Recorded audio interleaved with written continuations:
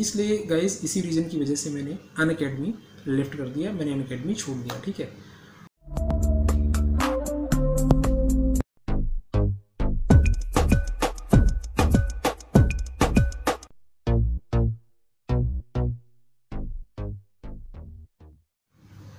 Hello everyone अगर आप अन academy join करना चाहते हैं और इस वीडियो को आप देख रहे हैं तो ये वीडियो आपके लिए बहुत ज़्यादा इंपॉर्टेंट है। राइट ऑलरेडी मैं बहुत सारी वीडियोस बना चुका हूँ अन अकेडमी के ऊपर बाजूस के ऊपर, और भी बहुत सारे ऐसे प्लेटफॉर्म के ऊपर। तो अगर आप नए हैं तो प्लेलिस्ट पर जाकर ज़रूर चेक करें।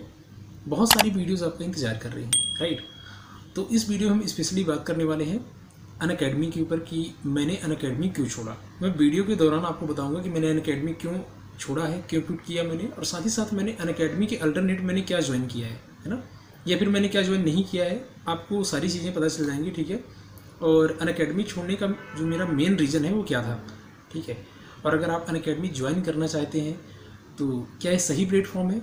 मैंने क्यों छोड़ा अगर ये सही प्लेटफॉर्म है तो? और क्या क्या चीज़ें हैं? सारी चीज़ें मैं बताऊँगा, ठीक है? इससे पहले मैं एक वीडियो बना चुका हूँ अन अकेडमी के ऊपर, जो जो था स्पेशली डाउट सॉल्विंग एजुकेटर को लेकर प्रोज और कॉन्स मैंने थोड़ी वहाँ डिस्कस करे थे कि उसके फ़ायदे क्या है, नुकसान क्या है। ठीक है? लेकिन उसके अंदर स्पेशली कवर किया गया था एक डेजिग्नेशन के ऊपर यानी डाउट सॉल्विंग एजुकेटर के बेनिफिट और लॉस के बारे में ठीक है? लेकिन हम यहाँ बात करने वाले हैं तो छोड़ने का मेरा रीज़न क्या है? क्योंकि मैं आपको बता दूँ पहले जो लोग नहीं जानते हैं मैं पिछले आ, कई सालों से अकेडमी के साथ काम कर रहा था 2018 से है ना? 2018 से जिस टाइम पर मोबाइल फ़ोन के थ्रू वीडियोस बनाने होती थी मीन्स आपके आपकी पिक्चर आपकी वीडियोस नहीं आती थी आपको बस अपने नोट्स की फ़ोटो खींचनी होती थी या पीपीटी बनानी होती थी और उसको आप रिकॉर्ड करते थे अपने फ़ोन से, ठीक है? उस टाइम पर लैपटॉप या और किसी और किसी चीज़ों पर जो है अन अकेडमी का एक्सेस नहीं था, ठीक है?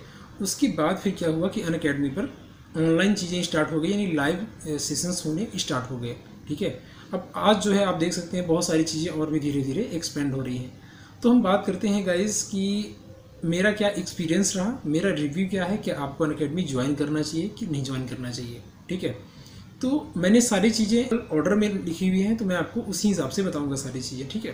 तो देखिए, अगर मैं एक्सपीरियंस की बात करूँ गाइज़ तो मैंने बहुत सारी नई चीज़ें यहाँ से सीखी है, जैसे कि how to take live classes live classes कैसे लेते हैं? क्योंकि जब मैं फ़ोन से और लाइव उनके डैशबोर्ड पर मूव हुआ उस टाइम पर ऑनलाइन क्लासेस कैसे लेनी है, उनकी टीम ने मुझे बहुत सपोर्ट किया और मैंने बहुत सारी चीज़ें सीखी और हो सकता है उसी की बदौलत आज मैं आपके सामने कैमरे के सामने बात कर पा रहा हूँ। बहुत सारी चीज़ें आप सीखते हैं धीरे धीरे ठीक है?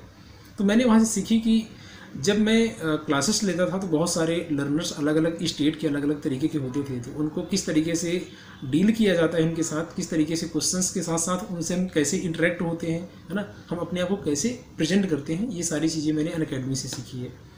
साथ ही साथ guys how to create content content कैसे बनाना होता है, ये भी मैंने अन के साथ सीखा, क्योंकि अगर आप टीचर हैं तो आपको ज़रूर पता होगा कि अगर आप अन अकेडमी टीचर हैं तो आपको पता होगा कि अन अकेडमी पर अगर आप ऑनलाइन क्लासेस लेते हैं मीन्स अगर आप स्पेशल एजुकेटर हैं या फिर प्लस एजुकेटर हैं तो कंटेंट की रिस्पॉन्सिबिलिटी भी आपकी ही होती है। चाहे आप खुद से टाइप करें या अगर आप किसी टाइपिस्ट को हायर करते हैं, तब भी, है ना? तब भी आपको कंटेंट की रिस्पॉन्सिबिलिटी लेनी पड़ती है। तो मैंने सारी जो टाइपिंग वगैरह मैंने खुद करी थी, ठीक है? बीच में मैंने टाइपिस्ट भी रखा था, जिस टाइम पर मैं स्पेशल एजुकेटर था लाइव क्लासेस लिया करता था, ठीक है?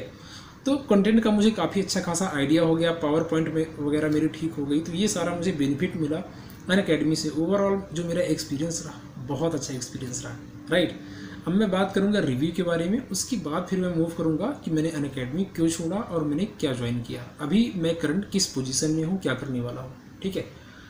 तो गाइज़ इसको भी मैंने प्रॉपर तरीके से लिख रखा है ताकि आपको सारी चीज़ें एकदम सही वे में पता चल जाए राइट तो देखिए गाइस मेरा जो रिव्यू है, यही रहेगा कि अन अकेडमी जो है काफ़ी अच्छा ऑर्गेनाइजेशन है। आप इसको ज़रूर ज्वाइन करें। अगर आप अर्निंग करना चाहते हैं, कुछ लर्न करना चाहते हैं तो आप यहाँ से अर्निंग और लर्निंग दोनों साथ में कर सकते हैं। राइट इसके अलावा देखिए, अगर आप अन अकेडमी ज्वाइन करना चाहते हैं तो आप कई तरीके से ज्वाइन कर सकते हैं। मीन्स अगर आप टीचिंग करना चाहते हैं तो अच्छी बात है। वहाँ दो कैटेगरी है। मीन्स अगर आप फुल टाइम एजुकेटर बनना चाहते हैं तो वहाँ आप स्पेशल एजुकेटर या फिर प्लस एजुकेटर बन सकते हैं, जिसको हम फुल फुल टाइम एजुकेटर कहते हैं, ठीक है? दूसरी टाइप के जो होते हैं, वो होते हैं part time educator means freelancing educator जैसे डाउट सॉल्विंग एजुकेटर जो डाउट सॉल्व करते हैं, ठीक है? एक कॉन्ट्रैक्ट यानी एक एग्रीमेंट साइन होता है डाउट सॉल्विंग एजुकेटर और अन अकेडमी टीम के बीच में, ठीक है? यानी जो सॉर्टिंग हेड टेक्नोलॉजी है अन अकेडमी की पेरेंट कंपनी तो सॉर्टिंग हेड टेक्नोलॉजी और आपके बीच में एक एग्रीमेंट साइन होता है कि आप जो है एक कंटेंट प्रोवाइडर के रूप में काम करते हैं, जिसके अंदर आपको क्लासेस वगैरह कुछ लेने, कुछ नहीं लेनी होती है। आपको, आपके पास केवल डाउट्स आते हैं, आप उसको सॉल्व करते हैं पर डाउट आपको पैसे मिलते हैं, ठीक है? तो ये कहलाता है फ्रीलैंसिंग या पार्ट टाइम काम कहलाता है अन अकेडमी के अंदर। अगर आपको ज़्यादा डिटेल्स में इन चीज़ों पर जाना है तो आप बहुत सारी वीडियोज़ देख सकते हैं। आगे बात करें गाइज़ तो नॉन टीचिंग की बात करें, बहुत सारे लोग ऐसे हैं जो टीचिंग फ़ील्ड से नहीं है, लेकिन अन अकेडमी जैसी ऑर्गेनाइजेशन को ज्वाइन करना चाहते हैं। तो वो नॉन टीचिंग जॉब को ज्वाइन कर सकते हैं। लाइक बी डी ए है ना, जिसको हम बिज़नेस डेवलपमेंट एसोसिएट कहते हैं, ठीक है? यानी जो सेल्स वगैरह होता है अन अकेडमी के जो प्रोडक्ट होते हैं, यानी स्कूल्स इसके अलावा कम्पिटिटिव एग्ज़ाम्स या फिर इसके अलावा और भी डिफरेंट डिफरेंट टाइप के जो कम्पिटेटिव एग्जामिनेशंस होते हैं स्कूल के एग्ज़ाम्स होते हैं, उनके जो प्रोडक्ट होते हैं, यानी जो एजुकेशनल प्रोडक्ट होते हैं, वो सारे एजुकेशनल प्रोडक्ट आपको सेल करने होते हैं अकेडमी के, ठीक है? इसको कहा जाता है नॉन टीचिंग जॉब तो नॉन टीचिंग जॉब के साथ भी आप अन अकेडमी ज्वाइन कर सकते हैं और अच्छा खासा अर्न कर सकते हैं। अब मैं आता हूँ सीधे मुद्दे पे कि मैंने अन अकेडमी क्यों छोड़ा, ठीक है? तो गाइज़ मैं आपको बता दूँ, जब मैंने स्टार्टिंग से ज्वाइन किया था, मेरी जर्नी काफ़ी लंबी रही अकेडमी पर। तो पहले जैसा कि मैंने आपको बता दिया कि पहले मैं मोबाइल से वीडियो शूट करता था करता था। मैं ही नहीं, जितने भी सारे एजुकेटर थे, मोबाइल से वीडियो रिकॉर्ड करते थे। सारे इंडिया के जितने बड़े से बड़े एजुकेटर हैं, छोटे से छोटे एजुकेटर सारे, ठीक है? इसके अलावा गाइज़ इसके बाद फिर मूव हुआ प्लस एजुकेटर और स्पेशल एजुकेटर की तरफ़। वो क्लासेस भी मैंने ली हैं, ठीक है? और उसके अलावा फिर गाइज़ पेंडेमिक वगैरह आ गया। मेरे पास कोई कॉन्ट्रैक्ट कोई काम नहीं था अकेडमी का। उस टाइम पर फिर मेरे पास कॉल आता है अकेडमी का। कि आप अगर डाउट सॉल्विंग एजुकेटर बनना चाहते हैं तो आप एक कॉन्ट्रैक्ट साइन करें और वो हमें बैंक की मैथमेटिक्स के लिए डाउट सॉल्विंग एजुकेटर बनाना चाहते हैं, ठीक है? तो मेरे पास कोई ऑप्शन भी नहीं था तो मैंने ज्वाइन कर लिया Unacademy doubt solving educator के तौर पर। फिर मैंने क्या किया? स्पेशल एजुकेटर जिस तरह मैं पहले था मतलब जैसे मैं ऑनलाइन क्लास लेता था, वो सारी चीज़ें मेरी छूट गई थी ऑलरेडी ठीक है? तब फिर मैं क्या करने लगा? केवल डाउट सॉल्व करने लगा अन अकेडमी पर और पर डाउट मुझे पैसे मिलने लगे, जो कि अभी हाल फ़िलहाल भी मैंने लास्ट तीन दिसंबर तक मैंने उसको, उस पर काम किया हुआ है, ठीक है? तो अब मैं क्या कर रहा हूँ, ये मैं वीडियो शूट कर रहा हूँ, आज जो डेट है वो ग्यारह दिसंबर है, ठीक है? तो इलेवंथ दिसंबर है गाइज़ आज, और आज मैं अकेडमी पर काम नहीं कर रहा हूँ। As a doubt solving educator मैंने जॉब छोड़ दिया है। उसका रीज़न ये था कि मैं नई अपॉर्चुनिटी और ग्रोथ के लिए सर्च कर रहा था। मैं चाहता था कि कुछ मुझे नई अपॉर्चुनिटी मिले। मुझे पता था कि मैं और ज़्यादा डिजर्व करता हूँ क्योंकि मैंने मैंने बहुत सारी चीज़ें एक्सपीरियंस की है। मेरे पास एक्सपीरियंस अच्छा खासा है टीचिंग फ़ील्ड का, ठीक है? तो मुझे लगता था कि डाउट सॉल्विंग एजुकेटर मेरे लिए इनफ नहीं है, ठीक है? मैं और ज़्यादा डिजर्व करता हूँ। लेकिन प्रॉब्लम यह है कि अन पर अगर आप डाउट सॉल्विंग एजुकेटर बन जाते हैं तो आप अन अकेडमी पर और कोई बड़ा एजुकेटर या और कोई जॉब नहीं कर सकते। ये इसकी सबसे बड़ी प्रॉब्लम है, ठीक है? तो हमारे साथ एक क्या हो गया था? एक प्रॉब्लम सी हो गई थी, है ना? एक बाउंडेशन सा हो गया था कि हम और कुछ नहीं कर सकते। अगर हम डाउट सॉल्विंग एजुकेटर हैं तो डाउट सॉल्विंग एजुकेटर ही रहेंगे। इसलिए गाइस इसी रीज़न की वजह से मैंने अन अकेडमी लेफ़्ट कर दिया, मैंने अन अकेडमी छोड़ दिया, ठीक है?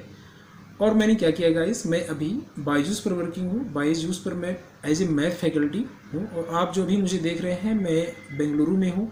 ये मैं होटल से वीडियो रिकॉर्ड कर रहा हूँ, ठीक है? तो मैंने बाईजूस ज्वाइन कर लिया है। जितने भी लोग पुराने लोग हैं जो लोग हमसे जुड़े हैं, मैं उनके लिए वीडियो बना रहा हूँ और जो नए हैं, उनके लिए भी, ताकि इस वीडियो के बाद आपको एक रफ आइडिया लग जाए कि अन अकेडमी आपको ज्वाइन करना चाहिए कि नहीं, ठीक है? तो मैंने आपको रिव्यू बता दिया कि अन अकेडमी अच्छा ऑर्गेनाइजेशन आप ज्वाइन कर सकते हैं, लेकिन अगर आप डाउट सॉल्विंग एजुकेटर बनना चाहते हैं तो आपके साथ वही बाउंडेशन हो जाएगा कि आप कोई उसमें बड़ा एजुकेटर है ना?